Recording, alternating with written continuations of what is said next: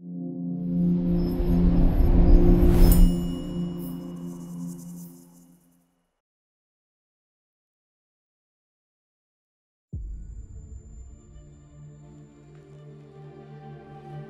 este país hay más obras de arte debajo de los colchones que en las paredes.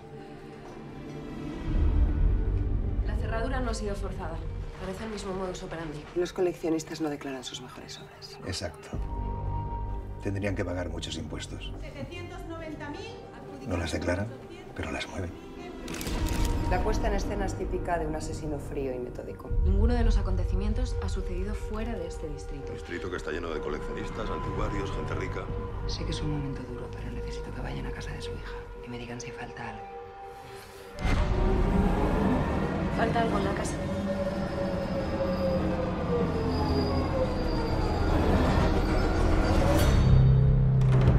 Imagino que sabrán que Los Caprichos son una serie que Goya hizo en 1799.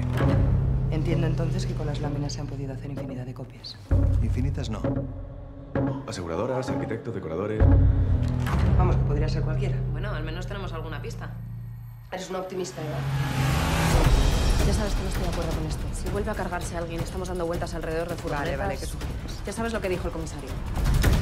Ha salido de Príncipe de Vergara número 8. Y discreción.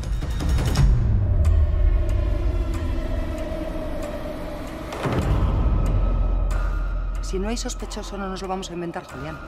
¿Por qué tanta prisa?